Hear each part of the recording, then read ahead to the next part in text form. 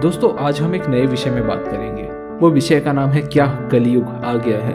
क्या आपको लगता है कलयुग आ गया है? हम अपने आजू बाजू सुनते हैं लोगों से कि दुनिया बहुत बदल चुकी है। लोग एक दूसरे से घृणा करते हैं, दुश्मनी करते हैं और ये कलयुग है। यहाँ पे हम किसी पे भरोसा नहीं कर सकते और ना ही किसी पे भरोसा करना चाहिए।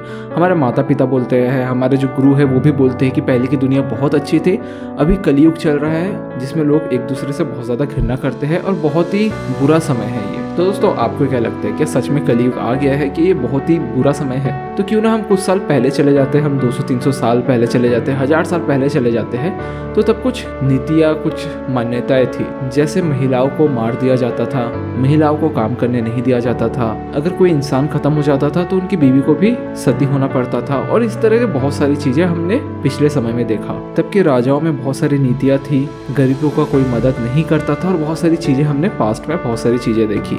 लोग मेहनत करते थे, लेकिन उसका उनको लाभ नहीं मिलता था। लेकिन हम अगर बात करें 2022 का, जो कि अभी चल रहा है तो क्या आपको ये चीज़ें देखने को मिलती है कि किसी का पति खत्म हो गया तो उसकी बीवी को भी मृत्यु दिया जाता है? और इस तरह की बहुत सारी चीज़ें आप देख सकते हो। पुराने ऐसे बहुत सारे प्रथा थे जिसको आज के समय नष्ट कर दिया गया है और जिसको बोल सकते हो कि पुराने समय से बहुत अच्छी जीवन हम अभी व्यतीत कर रहे हैं। पुराने समय में इतनी डेमोक्रेसी दुनिया में नहीं थी, लोग आज़ादी के साथ नहीं घूम पाते थे। लेकिन आज के समय देखोगे तो लोग आज़ादी से घूम पाते हैं। पहले के समय एक इंसान पूरा दुनिया नहीं घूम सकता था, पूरी पृथ्वी को भ्रमण नहीं कर सकता था।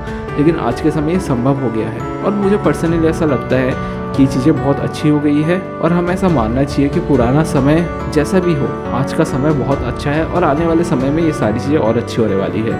हाँ कुछ चीज़ें हैं, जैसे हम बात करें नेचर को लेके नेचर यानी प्रकृति को लेके तो कुछ तरीके से प्रकृति को नष्ट किया गया है, लेकिन ये समय के साथ हो रहा है और हम ऐसा नहीं बोल सकते कि पूरी तरीके से प्रकृति नष्ट हो रही है। ऐसे बहुत से लोग हैं जो प्रकृति के लिए काम कर रहे हैं, प्रकृति के लिए अपना योगदान दे रहे हैं। तो हम सिर्फ़ एक साइड नहीं देख सकते कि एक इंसान सिर्फ़ प्रकृति को नष्ट कर रहा है और हम उसी चीज़ को लेके बैठ जाए कि नहीं, इस दुनिया को लोग ख़त्म कर रहे हैं। लेकिन ऐसे बहुत लोग हैं जो प्रकृति को बचाना चाहते हैं और उसके लिए बहुत ज़्यादा काम कर रहे हैं। पता है दोस्तों क्या होता है? हम ना एक ही साइड से देखते हैं और उसी साइड से हम जजमेंट करते हैं, लेकिन हमको सारी चीज़ें देखनी होती है। इसलिए आप बोल सकते हो कि हाँ कलयुग तो चल रहा है, लेकिन पूरी तरीके से कलयुग नहीं है। हम बोल सकते हैं कि कलयुग का शुरुआत ज़रूर है। लेकिन ये पूर्ण रूप से कलयुग नहीं है। लोग एक दूसरे की मदद करते हैं, एक दूसरे पे भरोसा करते हैं। अगर हम बात करें लड़ाई का तो ये चीज़ें पहले भी होती थी, धर्म को लेकर लड़ाई पहले भी होती थी, आज भी होती है और शायद सौ साल बाद भी होगी। लेकिन दोस्तों, बहुत सारी ऐसी चीज़ें हैं जो पुराने समय से अभी बहुत अच्छी हो गई है। जैसे पहले क्या होता था, राजा का बेटा ही राजा होता था। लेकिन आज के समय बहुत ही कम देशों में ऐसा देखा जाता है। तो दोस्तों, ये तो अच्छी चीज़ें है ना? तो हम कैसे बोल सकते हैं कि ये कलयुग है और ये योग बिल्कुल अच्छा नहीं है। यहाँ पे जो योग्य है, उसको चीज़ें मिलती है। जो अनियोग्य है, उनकी मदद की जाती है कि वो योग्य बन पाए। ऐसा भी नहीं है, पुराने समय में ऐसा होता था, जिन, जिनके पास योग्यता नहीं होती थी, उसको पूरी तरह से नष्ट कर दिया जाता था, उनको मार दिया जाता था। लेकिन आज के समय ऐसा नहीं होता है, उसके लिए बहुत सारे ऑर्गेनाइजेशन हो गई है, जो उसको मदद करती है। तो दोस्तों, हम ये तो नहीं बोल सकते कि कलयुग है ये, क्योंकि बहुत सारी अच्छी चीज़ें हमें देखने को मिल रही है। हाँ पुराने हमने किताबें बहुत सारी पढ़ी होगी, जिसके अनुसार ये कलयुग चल रहा होगा। मैं बिल्कुल इनकार नहीं करता, लेकिन कलयुग को हम इस दृष्टि से क्यों देखते हैं कि बहुत ही ख़राब समय है?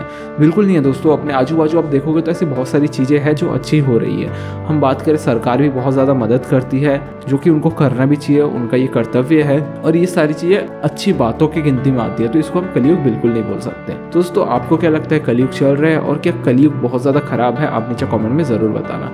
साथ ही साथ, आपको अगर ये वीडियो अच्छा लगा तो यार आप सब्सक्राइब ज़रूर करना, वीडियो को लाइक करना और कोशिश करना लोगों के साथ शेयर करने का। तो मिलेंगे एक नेक्स्ट वीडियो में। तब तक के लिए दोस्तों, वीडियो को यहाँ पे खत्म करते हैं।